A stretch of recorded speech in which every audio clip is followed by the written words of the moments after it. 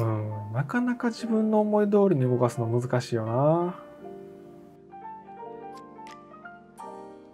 というわけで今回はこちらの 3D マウスを作ってみたいと思います。はい。で、まあ、3D マウスって悩んねんってことなんですけど、主に Fusion 360などの 3D CAD を使うときにあったら便利な特殊なマウスです。えー、どういった感じで便利かというと、えー、ここにね、ジョイスティックみたいなのがついてて、それを傾けると 3D モデルが傾いたりとか、えー、ダイヤルをね、回すと拡大縮小みたいな感じで、え非常に普通のマウスとはちょっと違った使い方で、え便利になる特殊なマウスとなっています。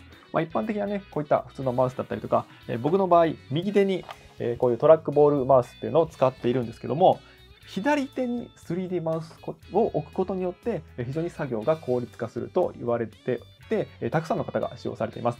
で別に自作しなくても売ってます。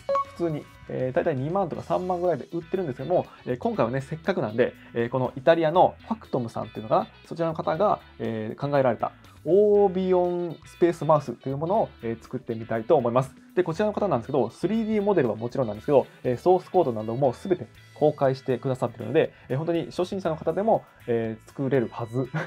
で、ちなみに僕は、え電子工作ね、本当に初めてという、初めてではないけど、ほぼ素人なんで、え真似される方は自己責任でお願いします。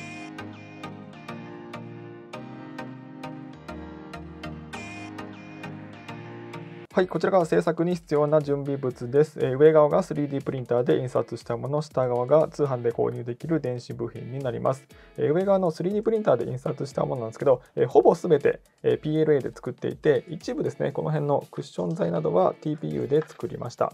で、えー、まあですね、これなんかで言うと、右手用にするか左手用にするかでボタンの配置などが変わってきますんで、自分の用途に合わせた 3D モデルを選んで印刷してください。で、えー、使ったフィラメントなんですけど、えー、これがですね、ポリメーカーのポリテッラ PLA と呼ばれるやつで、えー、マットブラックなんですけどね、非常に質感が良くて、え、めっちゃ気に入ってます。で、黄色い部品は、え、同じくポリメーカーのポリマックス PLA と呼ばれるものを使っています。で、TPU はもうサインスマートさんしか僕使わないですね、TPU は基本的に。え、非常に印刷時のトラブルが少なくて、え、品質もいいのでよく使っています。で、えー、電子部品に関しては Amazon で購入するか AliExpress で購入するかなんですけど、えー、僕は今回、えー、価格を優先して AliExpress で全て購入しました。で、えこれがですね、今回の要と言ってもいいアルディーノと呼ばれるマイコン、まあ、コンピューターですね。小さい小さいコンピューターになります。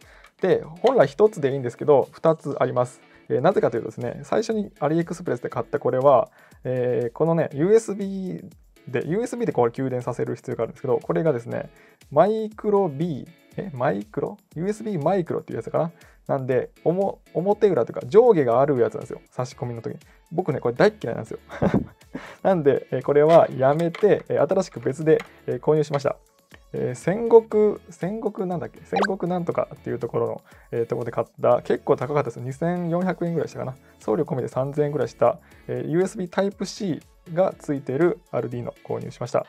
で、あとはね、ジョイスティックですね。この辺とか、えー、ロータリーエンコーダーですね。で、あとはベアリングと、えー、LED、あとさっきの、えー、穴に入るスイッチ類ですね。で、あとこれが液晶パネル。これ液晶までついてるんですよね。なかなか高級な 3D マウスですけど、えー、頑張って作っていきたいと思います。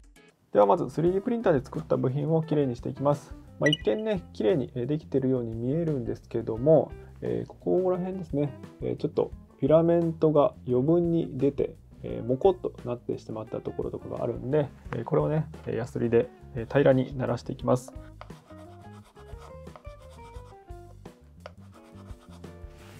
はい、こんな感じで綺麗に平面が出たので次はこの穴とかにインサートナットを入れていきます。インサートナットを入れる部品いくつかあるんで、えー、全部やってください。入れ方はですね、こちらのハンダゴテを使ってインサートナットをこのハンダの熱くなるところで温めます。で、ある程度温まったら、えこのね、穴の中に入れます。はい。で、入れた後ですね、えこの平べったいやつで押す。はい、これだけですね。めっちゃ簡単です。配線作業が一番難しいです。えー、というのもですね、3D マウスの中を配線が通っていくような設計になっているので、えー、最初に全部ハンダ付けしてしまうと、積みます。あの通せなくなってしまうので部品が。なんで、えー、完成形をイメージしながら、えー、どこがこうなってどこが入っていくのかとか、え、考えながらハンダ付けをする必要があります。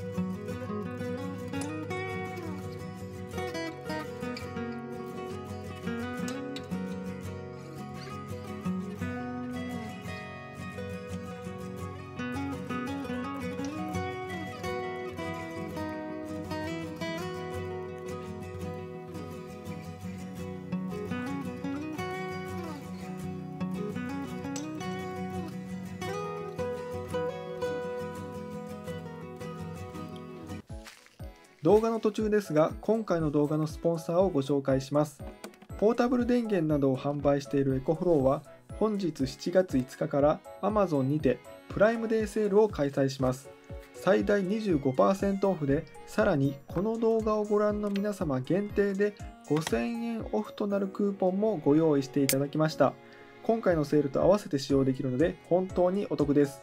これからのキャンプに高性能なポータブル電源いかがでしょうか？私、豚骨もゴリゴリ使っていく予定です。詳しいキャンペーン情報はこの動画の概要欄に記載しています。では動画の続きをどうぞ。はい、というわけでこちらの配線図の通りに配線をつなぎまして、現在このような感じになっております。あとはこの上のところにベアリングとかノブをつければ完成といったところまで来てるんですけども、これをね、ただ USB でつないでも、これはね、思った通りに動作してくれません。でそれはなぜかというとこのマイコンアルディーノにプログラムが入ってないからなんですね。でそのプログラムのソースコードは全てファクトムさんが公開してくださっているのであとはこのアルディーノにプログラムをぶち込むだけと。でまあまず今回僕が作ったオービオンスペースマウスのバージョンはハードウェア外観部品がバージョン2.5で中身のコンピューターの部分が0.265となっています。まあ、現時点で多分最新版だと思います。まあ、徐々に徐々にあのアップデートされていって最初はね背面のボタンが1個だったんですけどそれが3つに増えてたりとか徐々にアップグレードされているものの最新版を使用しています。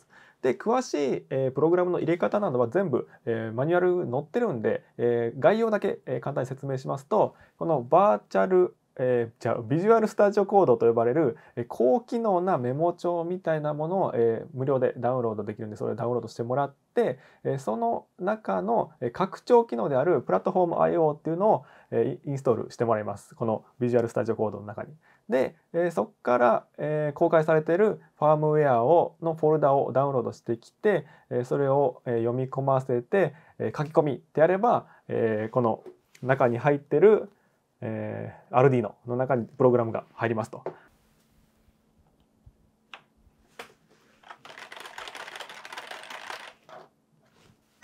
はい、という感じでプログラムの書き込みが終わりました。えー、この画面が出てたら成功ということですかね。で、えー、お分かりいただけますかね若干このモニターの枠からこの液晶の あのところが見切れてるちゃんと全部映り込んでないですねこれはこの液晶パネル OLED, OLED と呼ばれるものの個体差があって若干基板から上下にずれてることが多いようなんで、まあ、その個体を引いたという感じですねで、えー、設定をしていきます。よいしょ。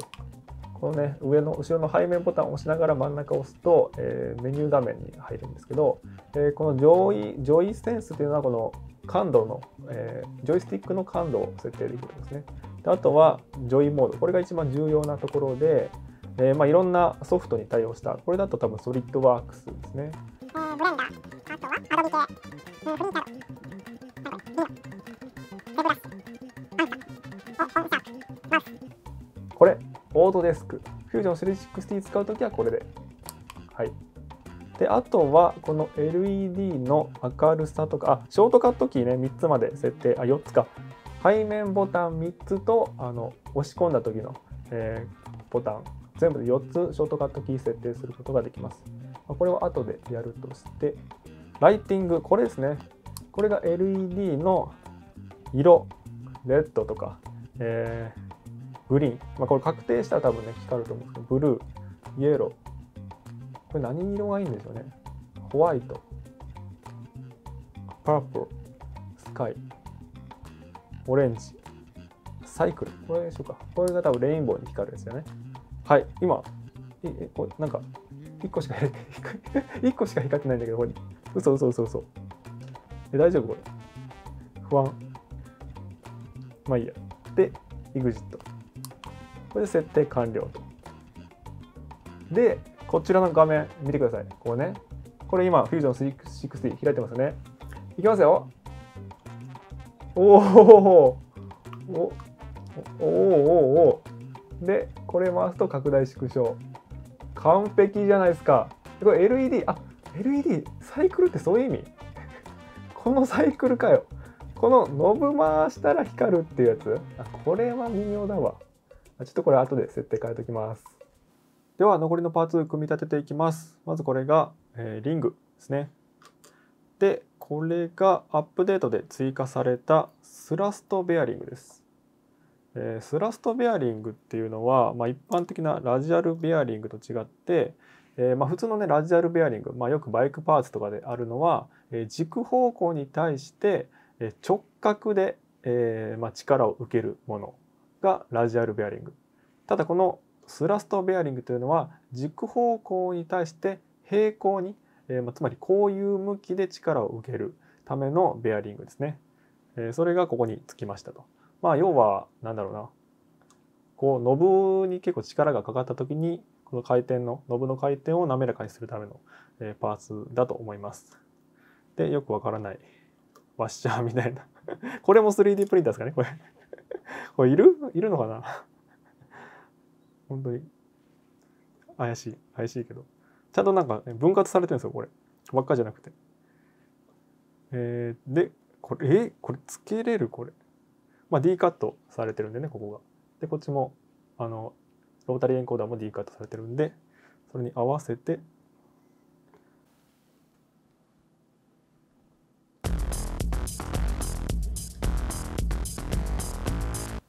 はいこんな感じで完成しました。実際に使ってみたいと思います、えー、ここねダイヤル回すと拡大縮小。でこのスティックを倒すと、えー、こうね 3D モデルが回転したり、えー、ね、すると。でショートカットキー、え、割り当てました、えここのね上のボタンが、え押し出し。でここがキャンセル。で端っこが、えスケッチ時のスケッチ寸法、まあ、今スケッチモードじゃないんでできないですけど、えスケッチ寸法にしてます。で押しボタンは移動とコピーにしてみました、えめちゃくちゃね効率上がると思います最高ですはい、いかがだったでしょうか？今回はファクトムさんが考案されたオービオンスペースマウスを作ってみました。まあ、電子工作自体初心者なんですけど、まあ、上手に作ることができました。で、まあ、電子工作ってなんか難しいイメージあったんですけど、なんかガンプラみたいな感覚で、なんか楽しく作業できました。で、えー、このね、ファクトムさんは、えー、いろんな、えデータ出してくれてるんですけど、無料で公開してくれたさってるんですよね。ただ全部ね無料で使わせてもらうのはちょっと申し訳ないんで、え参考にされた方とかね、えぜひこの PayPal のアカウントから、え支援していただけたらと思います。というわけで今回の動画が面白かった、参考になったという方いらっしゃいましたら、ぜひ、えグッドボタンとかチャンネル登録の方よろしくお願いします。え Twitter、Instagram、え最近 Voicy というね、ボイスメディアで、え製造業ラジオというのも始めてますんで、え概要欄のリンクから見てみてください。ご視聴ありがとうございました。